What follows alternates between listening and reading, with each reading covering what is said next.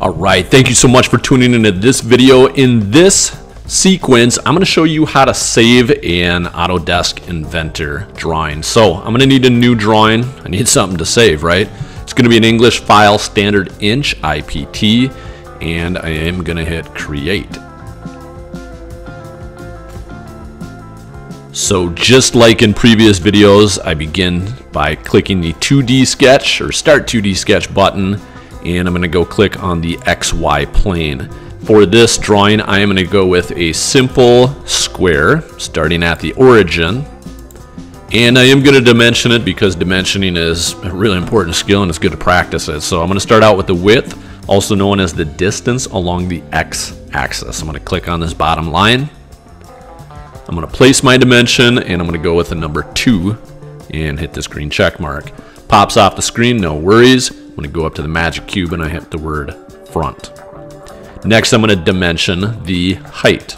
So I'm going to click along this Y axis and place my dimension off to the side, also doing two inches, hit the green check mark. Go into my magic cube and clicking the word front, you can see I have a two-dimensional square that's two inches by two inches. Now you probably remember from a previous video that to make it three-dimensional I'm doing what's called an extrude. And in this software that means you click the letter E, which I'm doing right now, and we get a extrusion preview. I like to see the entire preview so I'm going to go to my cube here and hit the corner. I can see that I am extruding to a distance of one inch. I'm going to switch that to the number two and I'm going to hit OK. So now I have a three-dimensional cube that is two inches on all of its different dimensions. So that looks cool. Now it's time for the purpose of this video, which is learning how to save.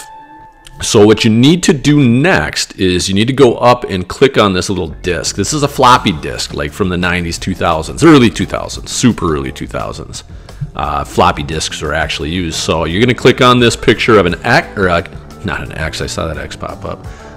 This picture of a disk. And as soon as you get in there, you're like, oh, okay, save as, good idea. You need to change this save in to a spot that you can get back to. Now, for most of my students, that means they're going to hit this drop down arrow. And one of the spots that you can save is in your Google Drive. So I'm going to click on that. I'm not only going to click on it, I'm going to double click. So now I'm into that Google Drive folder and you can see it's starting to populate with a lot of different folders that I have. And yours will probably do that too, or maybe you'll see different files. So I'm not actually going to put it in a specific folder for this, but what I am going to do is go in and change the file name. So I'm going to change this part name and name this guy the 2 inch cube for practice.